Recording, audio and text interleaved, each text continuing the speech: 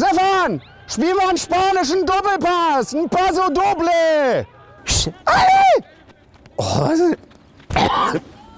Mal. Ali! Schwed...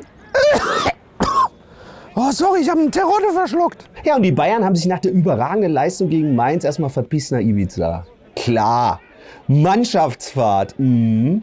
Der Nagelsmann hat aber auch weder eierne Hose noch Humor. Nach so einem Spiel ist doch klar als Trainer, da cancelst du die Flugtickets der Spieler, in eine Kabine stellst dem Lewandowski so einen Ghettoblaster hin, machst eine CD rein mit einem Wanderlied aus den 90ern drauf. Hey, we going to Ibiza. Und dann sagst du so, wenn er lauft dahin, dann ist es okay, Dienstag ist wieder Training. Tschüss. Der Bratzo hat gesagt, das wäre eine teambildende Maßnahme.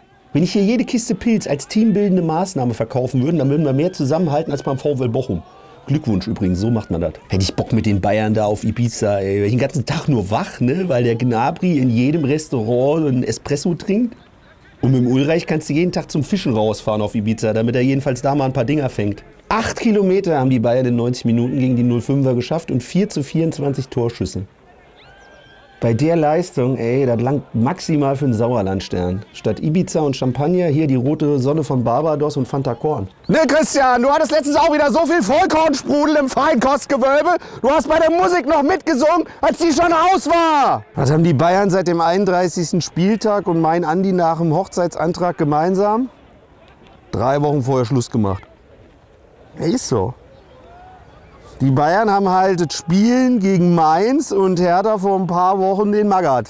Also eingestellt. Hoffentlich spielt der Nagelsmann gegen VfB Stuttgart mit der F-Jugend. Wobei, das langt für die Stuttgarter auch noch. Ey. Die Stuttgarter sind momentan mehr am Zittern als meine Jungs nach vier Tagen Malle. Und die Bayern-Spieler sind bestimmt topfit, wenn die aus Ibiza kommen. Gut, das ihr ja klar. Allerdings, ne? Der Magath wirft ihnen das jetzt aber vor. Ich frage mich aber, Magath, überleg dir doch mal, du hast ein 1-1 gegen Bielefeld. Kurz, das ist die erste Frage, die ich habe wenn man bei Hertha ist. Neben den 3426 anderen Fragen noch.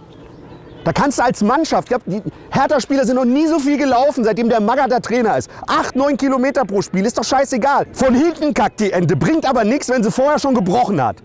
Im Fußball ist es wie im Sex. Du musst die Dinger vorher eintüten, sonst bringt es nichts. Ne? Ist aber auch scheiße, wenn die eigenen Fans dir nach dem Derby Löcher ins Kondom gestochen hat. Da ist auch nichts von. Dann bei der Hertha, da kannst du nur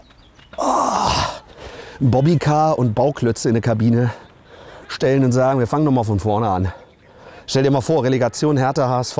Da kannst du auch den Windhorst und die Kühne in eine Zigarrenloge setzen und sagen, hier, Wer als erster eine fertig gepafft hat, der bleibt in der ersten Liga oder geht in die erste Liga, wie auch immer. Ne, Stefan, der Mai ist nur der Wonnemonat, weil wir da einmal gewonnen haben. So, Männer, ihr spielt heute in Trikots der D-Jugend. Oh doch, damit ihr mal wisst, wie lange ihr schon scheiße spielt. Ja, und Aki Watzke hat sich nochmal gemeldet. Der BVB wäre vom Videoschiedsrichter mindestens zweimal benachteiligt worden. Dann wären sie jetzt nur sechs Punkte hinter den Bayern. Mhm. Und dann gibt es einen Titel oder was?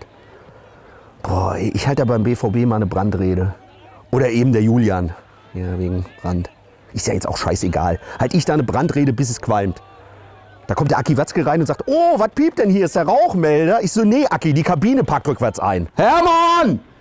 Bleib ruhig! Acht auf deinen Puls! Steter Atem! Steter Atem! Was machst du denn da? Nicht Steak braten! Ja, und bei RB Leipzig ist es so wie immer mal wieder im englischen Königshaus. Es gibt Probleme mit Charles. Also hier wegen der Freiburg hat keinen Bock, dass das Logo auf diese Fanschals da gedruckt wird. Finde ich schade. Freiburg hat doch so einen Geier im Logo. Da wäre doch geil gewesen, der Geier mit so einer Red Bull-Dose vorne auf dem Schnabel. Ist aber nicht erlaubt wegen Tierschutz. Ne?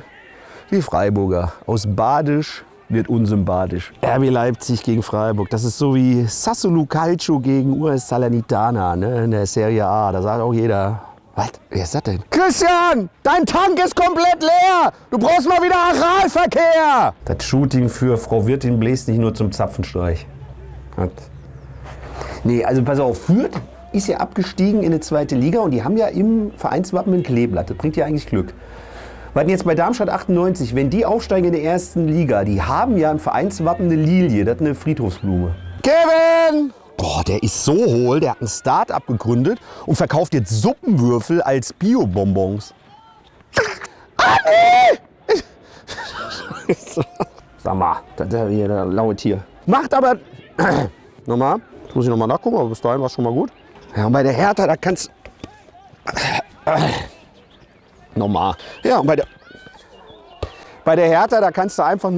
Scheiße. Stell dir mal vor, Relegation Hertha gegen HSV. Da kannst du auch den Windhorst äh, mit dem, wie heißt der? Scheiße, Kühne. Nochmal. Jetzt habe ich die Vereine schon vorher vergessen, bevor ich überhaupt. Ah, Leipzig gegen Freiburg. Da klingt ein bisschen so wie in der Serie A US Salernitana gegen Sasselio Calcio. Die Hühner, ich kann die nie aussprechen. Sassolo Calcio gegen US Salernitana. Bei mir frage ich mich auch immer, ne? Adonis oder Buddha?